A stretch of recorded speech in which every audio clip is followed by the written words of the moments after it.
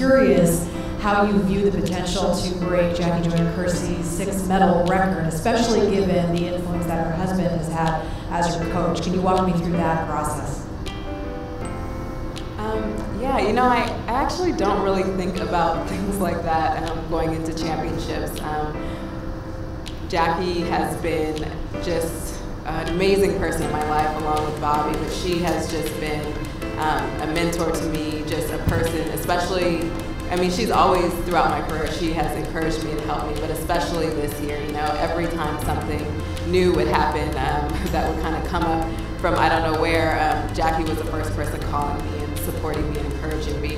And so to even be anywhere in the same breath as Jackie is amazing. Um, and, you know, all her medals were you know, they're all individual, and I have a lot of relay stuff going on. So to me, I could never be in Jackie's category, but um, I'm just excited for this opportunity, um, and you know, thankful that you know I've been able to have Jackie in my life throughout um, the majority of my career. Hi, I'm Jackie Joyner Kersee, four-time Olympian, three-time gold medalist. I want to wish Allyson Felix the very best. I hope you do it, girl.